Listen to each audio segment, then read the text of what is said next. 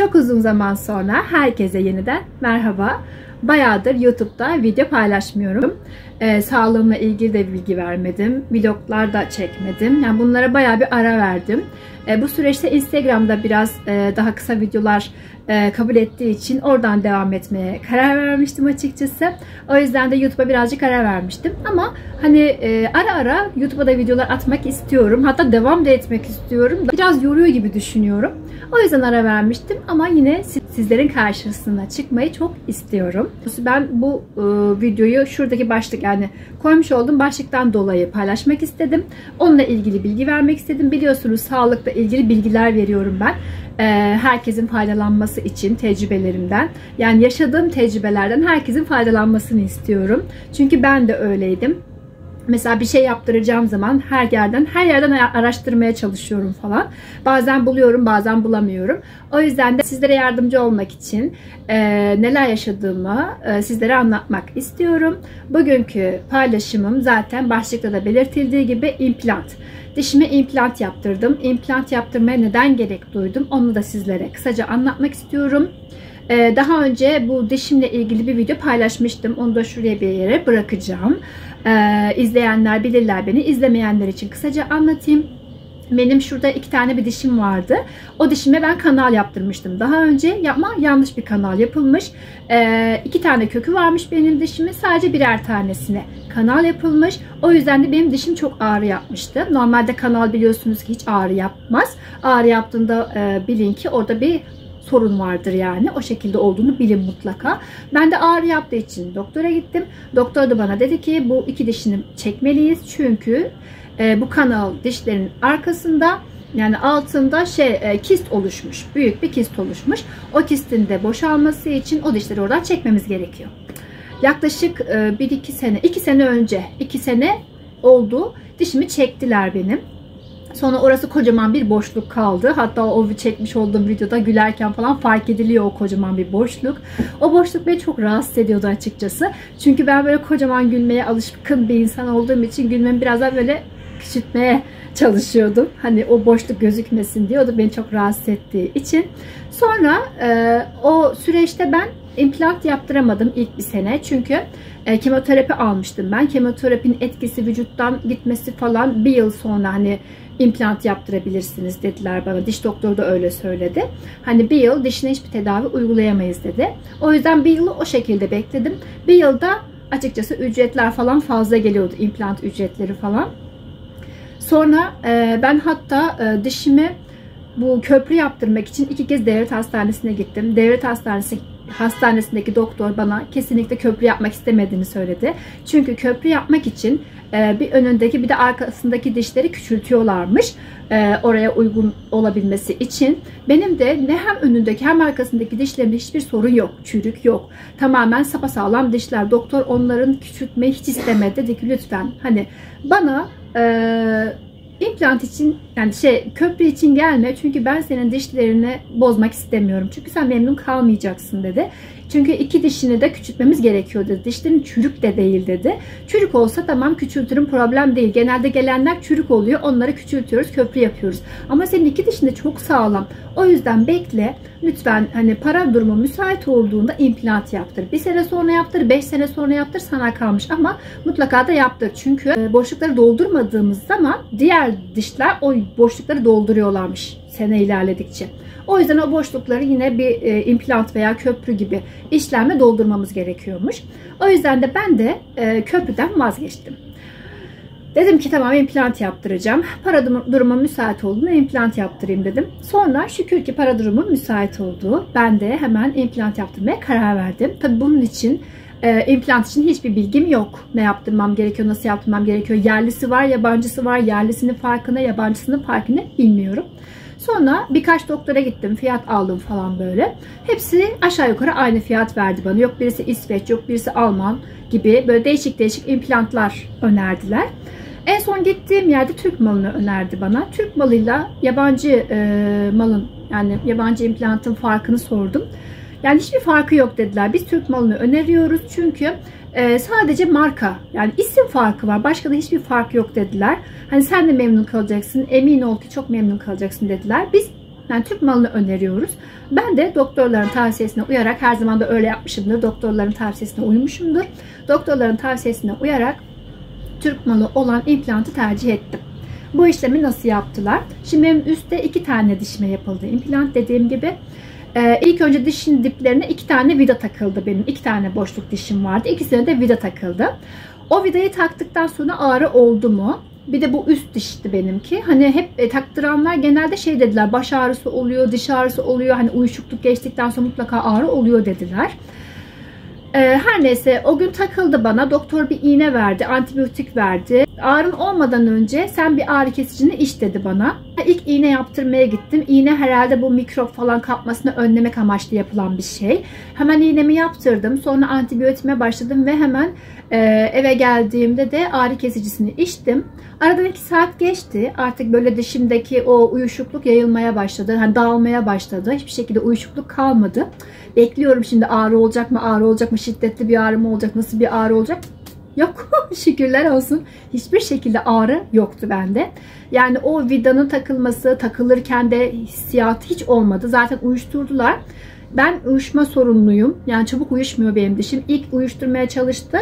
E, uyuşmadığımı fark ettim. Bir daha ikinci morfini vurdular. O şekilde uyuşturdular. E, uyuştuğunda zaten hiçbir şey anlamıyorsunuz. Böyle matkap gibi bir şeyle e, takıyorlar onu. E, siz sadece hani bir şeyin takıldığını hissediyorsunuz. Ağrısızlığı hiçbir şekilde yok. Hiçbir şekilde gece de ağrı yaşamadım. Hatta implant taktırdığımı bile unuttum sabah uyandığımda. Diyorum ki Aa, benim hiç ağrım olmadı. Gece ağrım olacak diye ödüm kopuyordu. Acaba kanama mı olacak, ağrım olacak falan. Çok ürkmüştüm açıkçası. Ama şükürler olsun hiçbir şekilde ağrısızı yaşamadım. Benim ağrı eşim biraz e, yüksek herhalde. Hani çok fazla ağrı. Ağrı eşim düşük mü derler? Ağrı eşim düşük herhalde. Çok fazla ağrı hissetmiyorum ben. Ee, yani şükürler olsun. Sonra işte onu o şekilde atlattım. Doktor bana dedi ki 3-4 ay bu vida dişinde kalacak. Dişinle kemik arası yani kemikle vücudun e, vücudun bunu kabul edip etmeyeceğine bakacakmışız. E, o vidanı vida e, 4 ay falan kaldı benim dişimde. O süreçte de hiç ağrı yaşamadım hiçbir şekilde. Kontrole falan da gitmedim. Artık 3-4 ay oldu tabii ki. Ocak ayında taktırmıştım. Mayıs ayında da beni çağırdılar. Yine hastane yani hastane kendisi çağırdı. Klinik kendisi çağırdı beni. Sonra gittiğimde e, o e, ilk taktıkları vidayı çıkartıp başka alıştırma vidası taktılar. Yine iki tane. Bunu takarlarken de hiçbir şekilde ağrı hissetmedim. Yine hiçbir şekilde ağrı yok. Yine uyuşturdular. E, sonra e, ama e, ağrı yok ama bu sonrasında ağzındaki uyuşukluk dağıldıktan sonra ağzımda biraz acı hissettim. Böyle sanki açık bir yaraya bastırmışlar gibi böyle bir acı hissettim açıkçası. Bu dişinde 10-15 gün kadar kalacak dedi doktor. Bu alıştırma vidası dedi. O şekilde söyledi. O birazcık e, sonrasında acısını hissettim onun açıkçası. Ee, sonra 10-15 gün geçtikten sonra beni yeniden çağırdılar. Artık e, şey hani diş hmm, artık böyle diş için ölçü yani diş için böyle e, ölçü almaya çağırdılar benim bu seferde. İlk gittiğimde böyle macun gibi bir şeyle böyle e, bir metal ölçü aldılar sanırım. Macun gibi bir şeyi ağzıma takıp böyle ölçüsünü aldılar. Sonra o da bir hafta falan geçti. Sonra tekrar çağırdılar beni. Bu sefer de başka bir ölçü aldılar. 2-3 defa ölçü almaya çağırdılar beni. Bu süreç ne kadar sürdü? Bir 10 günde o sürdü diyeyim ben size. Yani 2-3 defa ölçüye gittim. En son gittiğimde git, en sondan önce gittiğimde artık dişimi gördüm. Nasıl bir diş takılacağını gördüm. Baktım tamamen dişlerime uygun bir diş. Hani hiçbir şekilde sırıtmıyor. Beyazlık konusunda. Hani diğer dişlerle hiçbir şekilde sırıtmaması için rengini bile her şeye uygun yapıyorlar. Görüntüsünü, rengini tamamen estetik oluyor yani. Hiçbir şekilde fark yok diğer dişinle. Ee, sonra ama orada damak e, herhalde şurada damakta biraz damak şey yapmışlar, etli yapmışlar. E, doktor ondan memnun kalmadı. O yüzden dedi ki bir kez son kez seni bitim için yine şeye çağıracağım. Eee tekrardan seni bitim için çağıracağım dedi. Tamamen artık son takacağız. Her şey bitmiş olacak dedi. Sonra en son gittiğimde e, o dişi takacaklardı. İlk önce uyuşturmadan önce böyle bir dişi takmaya çalıştı doktor. Aman Allah'ım çok fena bir acıydı. Ben böyle dişimden kalktım böyle dayanabilir miyim diye biraz kendimi sıktım sıktım. Yok dayanamayacağım dedim. Belli yani. Çünkü böyle açık bir araya tamamen böyle açık bir araya bastırıyor sanki böyle doktor. Öyle bir acı veriyor ki o böyle vidayı böyle sonuna kadar bastırıyor. Bir çok şiddetli bastırması gerekiyor ki yerine oturması için herhalde. Ben böyle irkindim. Ben öyle yapınca doktor dedi ki sana bir morfin vuralım, uyuşturalım. Sana acı çektirmeyelim boşuna. Ben çok memnun kalırım hocam dedim. Sonra işte bana bir morfin vurdular. Sonra hemen zaten uyuşuyor o anda diş. Uyuştu şükür bu sefer o problemi yaşamadım. Sonra işte onu tekrar takmaya başladı. Takarken hissediyorsun ama acı hiçbir şekilde yok. Ee, sonra dişimi taktılar. Allah'ım aynaya bir baktım. Al, çok güzel. O kadar beğendim ki bakın. Şurada şu iki dişim. Hiçbir şekilde belli değil. Yani diğer dişlerine estetik açısından da uyum sağlıyor. Artık gülüşüm kocaman kocaman. Hani gülüşüm böyle kısmıyorum. rahat rahat gülebiliyorum böyle fotoğraflarda, videolarda rahat bir şekilde gülebiliyorum. Bu benim için çok önemli. Çok böyle dişlerimi açıp gülen bir insanım çünkü ben. Bu dişlerime kavuştuğum için o kadar mutluyum ki ve çok memnunum. O gün de birazcık acı hissettim. Hani ilk gün, ilk iki gün diyeyim ben size e, dişim hani yerine mi alışması, alışması, alışması için ya da o hani bayağı bir bastırdı ya doktor onun acı hissiyatını bilmiyorum. İlk iki gün biraz böyle acı böyle bir yarama basılmış gibi bir acı hissettim. İlk iki gün geçtikten sonra artık hiçbir şekilde bir şey hissetmiyorsunuz. Artık normal kendi dişiniz gibi kullanabiliyorsunuz. Hiçbir sıkıntı yok. Doktor bir sıkıntı olduğu zaman her zaman biz buradayız dedi zaten. Her zaman ne zaman istersen yani bir sıkıntı olduğunda hemen bekleme gel dedi. Ama şu ana kadar bir sıkıntım olmadı. Bir ay oldu. Dişim takılalı.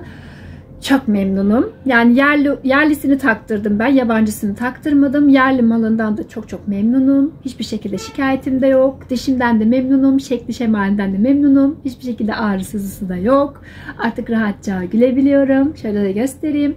O yüzden implant taktıracaklara böyle kısa böyle bilgi vermek istedim. Hani uzunca da anlattıysam kusura bakmayın. Ee, hani böyle açık açık anlatmak istiyorum ki acı yaşanıyor mu yaşanmıyor mu herkes çok merak ediyor. Ben de çok merak ediyordum çünkü. Ama hiçbir hani öyle sizi rahatsız edecek bir acı yok açıkçası. İki tane implant olmasından da kaynaklanabilir bilmiyorum. İlk takımında çok acı hissetmedim ama ikinci, üçüncü hani o vida değiş, değiştirme, vida değiştirme kısmında biraz acı hissettim. Bir iki gün sürüyor acısı sonra geçiyor ama hiç önemli değil. Onlara da katlanıyoruz artık neler çekmiyoruz ki. Evet bugün de implantla ilgili size video paylaşmak istedim. Ama yakın zamanda size hani e, böyle evimle ilgili balkonumda değişiklikler yaptım. Mutfağımda kahve köşesi oluşturdum. Güzel şekilde dekorlar yaptım. Yani onlarla da ilgili kısa bir vlog çalışması yapabilirim. Kadınlar daha çok merak eder böyle vloglu çalışmaları. Yani ev dekorasyonu ile ilgili çalışmaları kadınlar daha çok e, ilgi gösterir biliyorum. O yüzden kadın o yüzden kadınlarımızı bekliyorum. Güzel dekorlarla karşınıza gelebilirim. Küçük kısa kısa vloglarla da yeniden karşınızda olabilirim. Beni karşınızda görmek istiyorsanız lütfen kanalıma abone olmayı unutmayın. Ve videom size faydalı olduysa beğen tuşuna tıklamayı unutmazsanız çok sevinirim. Kendinize çok iyi bakın. Şimdilik hoşçakalın.